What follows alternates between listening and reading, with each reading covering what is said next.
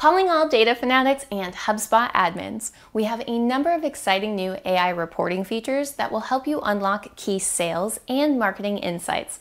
Let's dive into the power of each. First on our list is HubSpot's Reporting Assistant. Imagine you need to create a sales quarterly performance report, but you're short on time.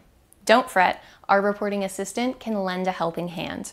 Simply click Create Report, choose the AI option, enter the question you want answered, and the tool will do the rest by generating a comprehensive report in a fraction of the time it would have taken to do this manually. Talk about efficiency. But wait, there's more. HubSpot's reporting assistant can also help you write report descriptions. We all know the struggle of trying to explain complex data in a way that everyone understands. This is where our reporting assistant truly shines. You can take your quarterly sales performance report and quickly generate a description that communicates key insights. To do so, open your report, click the About tab, select Edit, and then Generate. It's really that easy. Now let's talk about AI forecasting. Gone are the days of relying on guesswork when it comes to sales projections.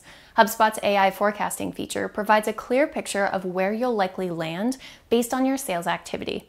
With this feature, you can pressure test what your team is predicting against the AI forecast to drive greater forecasting and accuracy. To get started in the Forecast app, navigate to the Analyze tab to discover these insights but make sure you're a super admin so you can enable this feature. Once enabled, all account users with forecast access will see the data. So there you have it, folks.